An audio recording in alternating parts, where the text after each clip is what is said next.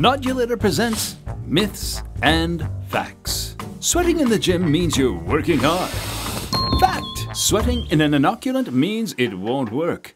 Myth. You see, inoculants are living things, so a little perspiration is normal and can be controlled with cool, stable storage and using proper handling practices. So don't sweat the small stuff. Get Nodulator Duo SCG.